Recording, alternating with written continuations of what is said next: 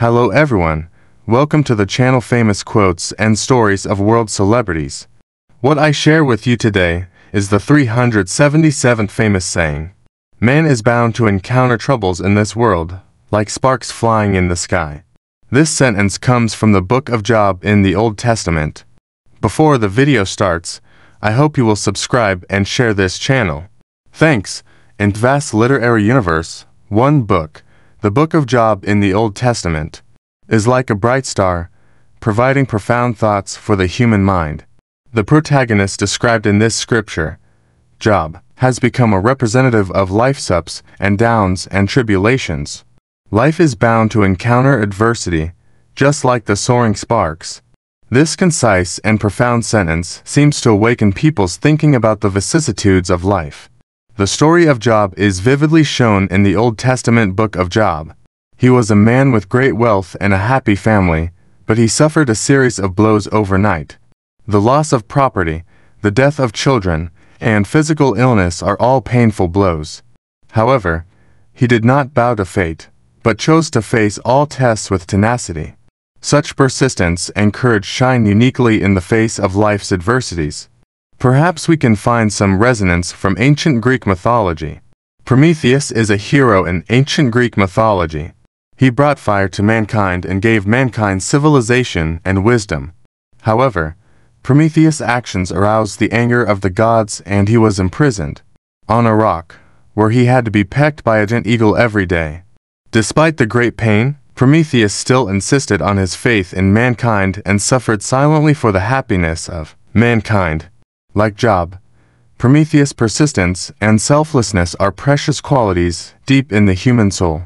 In the storm of fate, both the ancient Job and Prometheus revealed their profound thinking about life.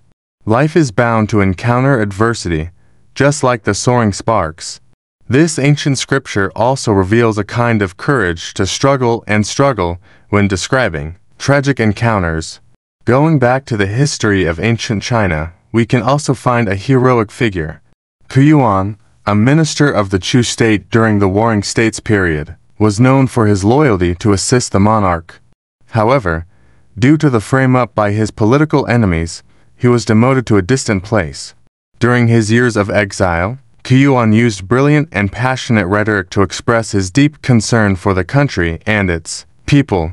In the end, facing the approaching enemy troops, he chose to drown himself in the river, expressing his deep love for the country with his own life. The story of Qu Yuan is very similar to the fate of Job. In the ups and downs of life, they all faced adversity and adversity with an admirable attitude. Statements such as life is bound to encounter adversity, just like the soaring sparks seem to indicate that everyone will face various tests on the journey of life. And in the face of these challenges, courage and persistence have become the most precious wealth. Perhaps we can find more revelations through other stories in the Old Testament, the book of Job. For example, when Job's friend Eliphaz faced Job's dilemma, he proposed faith in and obedience to God. The power of this belief enabled them to find support and perseverance in difficult situations. This may also be a kind of power that transcends physical pain and life's tribulations, and is a kind of faith that surges from the heart. Finally, we can trace the story back to ancient Hinduism. Leela and Manaka, to souls wandering in the joys and sorrows of life use their experiences to demonstrate the philosophical thinking about the cycle of life and death and reincarnation. Perhaps, this also provides a broader perspective. For us to interpret life is bound to encounter adversity, just like the soaring of Mars.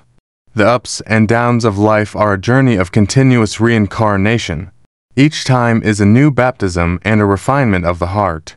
In the inner weaving of these ancient stories, we seem to see mankind's exploration of suffering, pain, and destiny.